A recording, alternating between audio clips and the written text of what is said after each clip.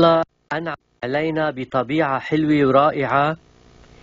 وهالشي ألهمني وأوحالي إني أبتكر مشروع بيئي سياحي. ورح يكون لهالمشروع أثر إيجابي واقتصادي وحضاري على بلاد جبيل وعلى لبنان عامة. لأنه بلاد جبيل متجذرة بأعماق تاريخ الإنسانية. مشروعي مؤلف من عدة المشروع يلي عم نحكي عنه هو بين سد وبين مساحة بيئية ومحمية يمكن من أمس الأمور البيئية اللي نحن بحاجة لهم هلأ المهندس بشارة أبي يونس رئيس حزب الإنقاذ البيئي ضيفنا لليوم. أهلا وسهلا فيك أستاذ بشارة مثل ما قلت حبك للبيئة يمكن أعطاك فكرة أنه تنشئ سد هيدا السد بعده يمكن على الورق بس بإطار تنفيذه أو إقراره على القليلة. عن شو عم نحكي تحديدا؟ قديش المساحة؟ حقيقة أنه هو مش فكرة سد بس بكل بساطة هو فكرة كاملة وشاملة. يعني سد بيئي وسياحي بنفس الوقت لأنه في كتير سدود. بس هاي الميزة تبعه أنه سد بيحوي بنجلويات أول شيء حواليه في تلتين حف... نمرود وحفرون وفي تلفريك نوصلهم ببعضهم نوصل على أرجاج بالمارش. عم نحكي عن منطقة إهمج وطلوع شوي. نعم. أوكي. هو السد بيوقع بين إهمج واللقلوق بمنطقة اسمها المحال. م. وأهميته إنه بيجمع آه، أرجاج وغيبة العذر تبع اهمج اللي كتب على أحد صخورة ممنوع قطع الأشجار الدائمة الاخضرار لأنها مساكن لأرواح الآلهة أدريانوس. م. موجود هالحجر هناك أنا عم بعمل شغلة إنه إيه، ألقط المناطق ببعضها بواسطة السد والمحمية والتلفريك آه هيدي أهميته إنه مثل ما قلنا في آه بيوت بنجلو شي 100 بيت مع الأرض طابق واحد زيت وجه بيئي إنه نطلع لها مشي من دون سيارات. والسد بيسقي هالمناطق اللي واقعه من لقلوق لبلاد جبيل كلها. يعني زراعي سياحي بيئي طيب أستاذ بشارة بظل هالعلامات الاستفهام يلي عم تنحط على بناء السدود وكل سد بيخلقوا له مشكل أو بيلاقوا له عذر حدا اعترض؟ حدا وقف بوجهكم؟ بالواقع لا ما اعترضوا لأنه هالمي لها الوف سنين عم بتروح بالبحر. حرام هدر. والمي مثل البترول إنه ليه عم نخلي ميتنا تروح هدر والناس ما عندها نقطة مي ببيتها؟ فوت. بقى نحفظ مثل ما بيقولوا قرشك الأبيض ليومك الأسود. ونقطة المي البيضاء لليوم الأسود. اليوم الأسود يعني شغله بكل بساطة إنه المفروض إنه نحن نستغل هالمي اللي عم تروح هدر على البحر. هلأ ضد السدود أنا ماني ضد السدود لأنه السد هيدي نعمة من الله. لا بدنا نخلي ميته تروح على النهر وعلى البحر ونحن بحاجة لها وخاصة إنه المنطقة فوق يعني صخرية ووعرة نوعا ما. يمكن اذا إذا في مي بصير نستفيد أكثر وبنفس الوقت بنربح. ما بعرف مساحة بيئية. بنربح أول شيء آه، المي وبنعمل تابلو. تابلو سياحي. يعني نحن الله أعطينا منطقة حلوة كثير لازم نستغلها بإلهامنا بإبداعنا. ومثل ما شفتي هون إنه عم نشوف مزبوط آه تابلو يعني مش موجوده بأي منطقة هاي طيب فكرة حتى بأوروبا مش موجودة sorry يعني. نحن مش نحن الله يعطينا إياها. بدنا نستفيد منها. أصلا عم نشوف المكات كنا والفيديو كيف عم بيصور. في حال تم تنفيذ المشروع كيف رح يصير؟ وحتى ال bateauيات الصغار أو المراكب الصغيرة المحطوطة على ال هون عم نشوف البنجلوز كمان يلي بيحترموا هيك هندسة المنطقة أرميد أهمية المشروع كأنك بسويسرا. يعني في تابلو. مش عم نحكي عن سد عادي. سد عم نحكي عن لوحة تجميلية لوحة سياحية. تجميلية. يعني السدود اخذين فكرة عنا إنه بتشوه. بس هذا سد بجمل. لا بجمل لأنه في انتراج حواليه وفي كم مشروع بيكملوه مش سد يعني بس يعني هون أكيد بشجع بصير في يد عاملة أولاد المنطقة بيستفيدوا نعم أكيد. بشغل أهل الريف ما عاد يهاجروا. بعدين آه، بأول سياحة نحن بلد سياحي. بيعرفنا على محميات مثل ما كنت عم تذكر. بدي أسألك بس عن التلفريك. قديش آه، مس يعني قديش آه، المساحة تقريبا يعني طوله شي 300 متر. يعني بيلقط قرنة نمرود بقرنة حفرون. نوصل لفوق في أوتيل بيئي بيتغذى من سهل organic سهل المخاضة. بيرجع السايح بيكمل مشي على ارجاج يعني 6 كيلومتر مش هينة. روحة راجعة 6 كيلومتر. وبيرجع على غيبة العذر تبع إهمش 3 4 كيلومتر. يعني خلقتي شغلة كثير مهمة. طيب أستاذ بشارة عرضتوا هالمشروع على ما بعرف المسؤولين مين لازم آه، يوافق؟ صراحة أنا بوجه تحية للاستاذ نزيه سمعان رئيس بلدية اهمج كان في تجاوب كثير بالمشروع مش عم جامل أنا. وببلش واحد من ضيعته أول شيء من أولاد ضيعته. يعني في إقبال والبلدية موافقة بس في استملاكات شوية استملاكات.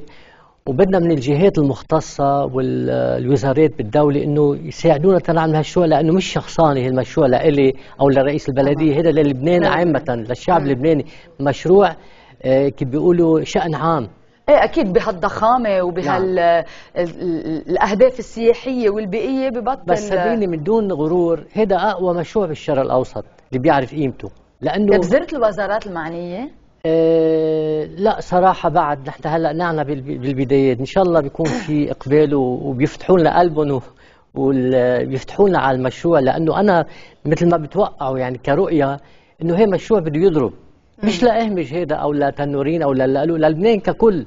أكيد المناطق اللي حده تستفيد لأنه قريبة منه يعني إيه طبعا. يعني بتشغل بحدود الألف عامل منا هينة. إنه تجذبيها تشتغل فوق ما تهاجر. طب أستاذ بشارة حضرتك رئيس حزب الإنقاذ البيئي يعني أهدافكم بيئية أكثر ما هي سياسية بس بنفس الوقت هي حزب. يمكن إيه، كل شيء بلبنان هون. بتعطي وجه حلو للسياسة بلبنان. برافو. يعني بتعطي إطار حلو ونظيف. إيه بعيدا هيك عن الخلافات بعيدا عن الخلافات وفي وداعة يعني طالما في راية البيئة بإيدكم في طيب يعني ما في منحرات مثل ما بيقولوا صح هذا وعلى القليلة في نفس وجهات النظر بين الأحزاب اللي بتشبهكم يلي هي الأحزاب البيئية. طبيعي. نحن طيب، إيدنا بايدها أي متى تاسس الحزب؟ شو أهدافه؟ ليش أسسته؟ آه، الحزب تأسس من بعد أي كارثة بيئيه أسسته يعني؟ آه، أول شيء الحزب تأسس إنه هي وقف الضمير لأنه لبنان كان سويسرا الشرق ولبنان عم بيتراجع. الغابات كانت 40% صارت 13 الحرايق أكلت الغابات. التلوث النفايات. يعني مثل واحد عنده ولد موهوب وعم ببيعوا شكلس عفوا بهالكلمة لو كانت ثقيله شوي. نحن لبنان بهدلناه. ما عم ننظر نظرة شمولية وكشأن عام وإنه هذا بلدنا بدنا نحافظ عليه. كنا سويسرا الشرق كان عندهم صحراء عملوها جنة. ونحن عندنا جنة عملناها صحراء سوري بهالكلمة. للأسف. يعني أنا شعرت ضميريا بالموضوع. ما لي غايه أنا بهيدا. لو لي غايه أنا كرئيس حزب عم ضحي. يعني امبارح جبنا براميل للنفايات عم نوزعها على نفقتنا مشان إنه نساعد البلديات إذا في تقصير. ما حدا طالب منا نحن بس نحن ك... مبادرات شخصية. كوقفة وطنية. صراحة ما عم ربح جميلة. ويا ريت الكل بياخذوا هال... هال... هالمثل هذا لأنه كل واحد إيد حد إيد مثل ما بيقولوا نقطة شتي نقطة شتي تعمل نهر مزبوط طيب بالحديث عن النهر وعن الشتاء والمي رح أرجع شوي لمشروع السد. قد إيه مساحته؟ السد لحاله. آه، السد يعني قد إيه بيستوعب مي؟ طوله بال بين ال 700 وال 1000 متر. فينا نمده شوي. wow. وعرضه بشي 300 متر وغمقه 70 متر. يعني تقريبا شي 3 مليون متر مكعب مي منه هين. وسد بيئي سياحي يعني منه إنه سد مثل سد الليطاني وكذا. هذا سد مثل ما بيقولوا portatif مهضوم و وجميل وبيحوي عدة أشياء. طيب هلأ في حال أخذنا إذن الوزارات وكله وافق والمناطق المجاورة والاستملاكات قد إيه بده ليتنفذ أول ما نبلش شغل على الأرض؟ شوفي بده بين ثلاثة وأربع سنين صح.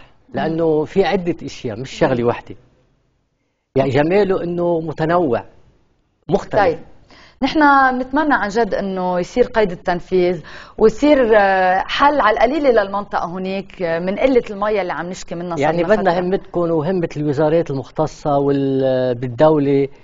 ونحن كمان كشعب مفروض نوقف مع حاكم شريع بتخص الشأن العام لأنه الشأن العام هو أهم شيء بالبناء نعم نعم. أهلا وسهلا فيك مهندس بشار أبي يونس رئيس حزب الإنقاذ البيئي ويعطيك ألف عافية.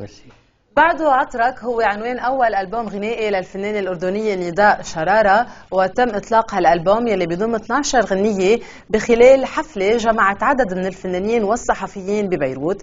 تفاصيل أكثر بهالتقرير للزميلة رويدة الصفدي يلي فيه بنكون عم نختم حلقتنا يلي معه بنكون عم نختم حلقتنا لصباح اليوم. بكرة أكيد حلقة جديدة بتمام الساعة 7:30 كونوا على الموعد. باي, باي. بعد وعطرك أوفى منك عم يسأل كل لحظة عنك.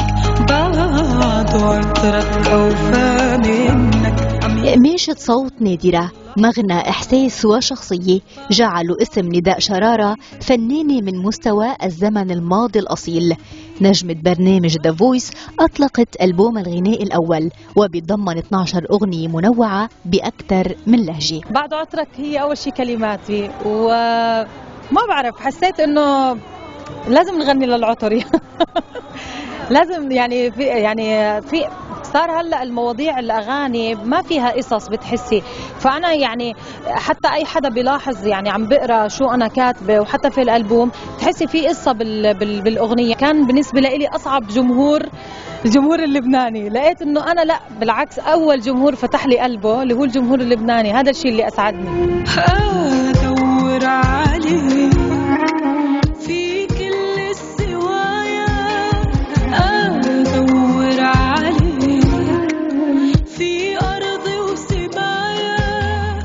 أطلق ألبوم بعد عطرك ضمن لقاء جمع صحفيين وفنانين وهو من إنتاج شركة GMR Studios وبصمة الفنان جان ماري رياشي.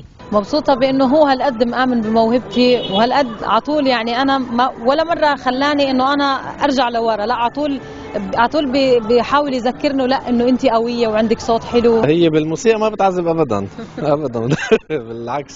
أه، يعني أنا قد شغل مع فنانين؟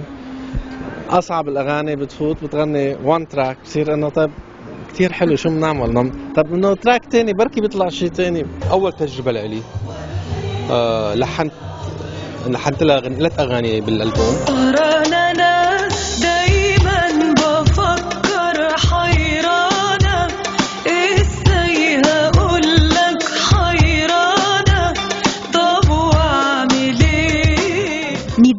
الفنانة الأردنية هي أيضا كاتبة وملحنة أطلقت أول خطوة لإلها من بيروت فسجلت عمل كامل مع بصمة صوت مميزة نداء عم ماشي بعكس السير.